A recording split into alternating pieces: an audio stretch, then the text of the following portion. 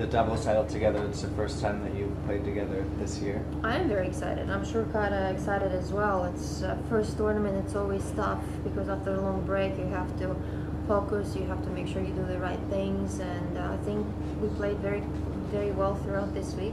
Very consistent. We beat very good double teams, and uh, I think we proved today in the, in the finals, beating the number one team, that uh, we're ready, hopefully, for big things this year.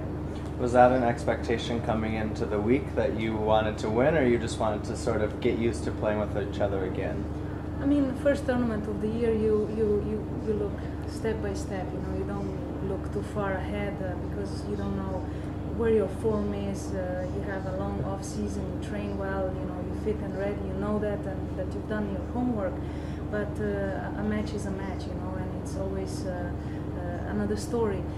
And um, but like I said, we had a very very tough draw, and every match was uh, tough opponents. And from match to match, we played even better and gave us more um, confidence and more. Um, uh, um, I say not proof, but like um, we, we got confirmation that we Sure. are a strong partnership, and you know it's it's a really good thing for us to win this and with the first tournament and now going yeah. with a lot of confidence to Melbourne for sure. What about Sydney? For both of you, you've been on tour for a while. You're veterans. What is what's special about Sydney to the two of you?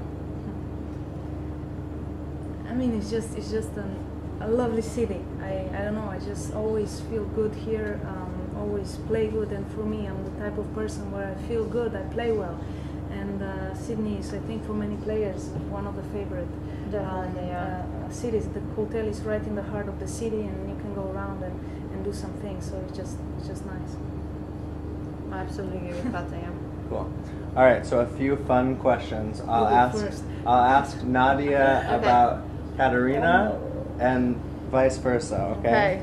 All right, I Nadia. don't think we, Careful. I don't think we're gonna succeed on those questions. I'll be like punching you in here. Nadia, in what year did Katarina win the Junior Wimbledon singles title? Junior Wimbledon. What year? What year?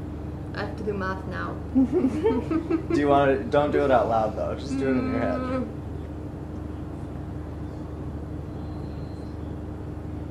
No, I think it'll be earlier. I'd say uh, 95. What do you say? Eight. Ninety-eight. ding ding ding. That's okay. I'm not that old. Okay. I thought you wanted when you were very young. All right, Katarina, your turn. Uh, what is Nadia's current single ranking? Thirteen. Ding. Nuh-uh. Wrong. 12. Oof, you sold her short. Thirteen. Oh no. All right. What is, Nadia? What is Katarina's older sister's name? I even didn't know that she had a sister.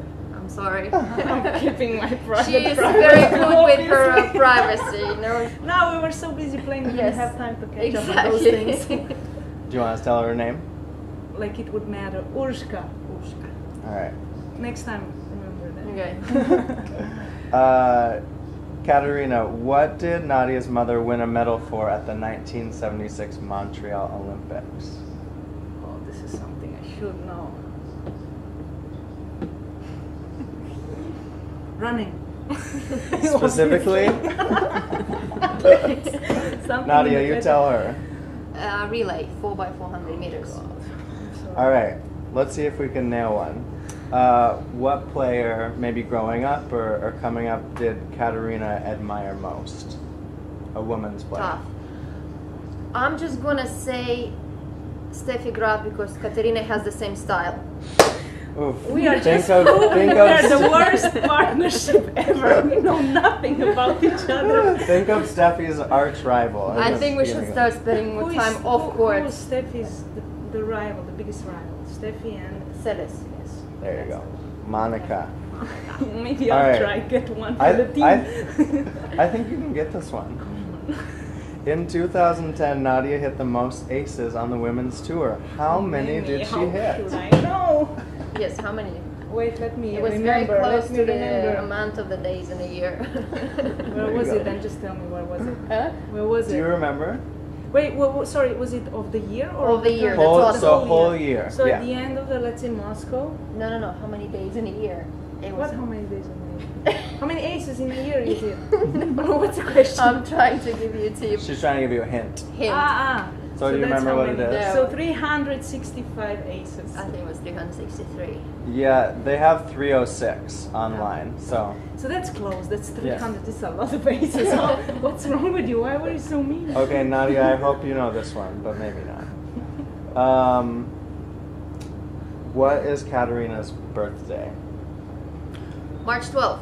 Ding ding ding. 81.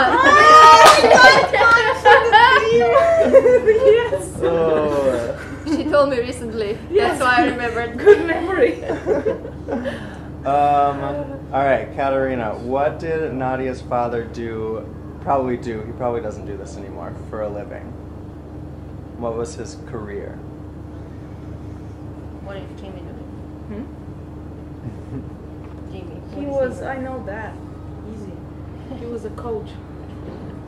He was Nadia's first coach. We'll, we'll give Yes. it to you. He's athletic coach, but he was uh, Fitness coach. exactly. what I That's right. Yeah. Well done, ladies. Solid effort. Next time we'll do better.